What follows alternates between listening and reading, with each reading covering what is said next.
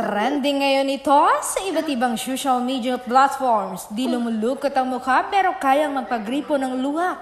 Malumanay ang binitawang linya pero tusok na tusok. Nag-iisa ka, Bel Mariano, the best actress.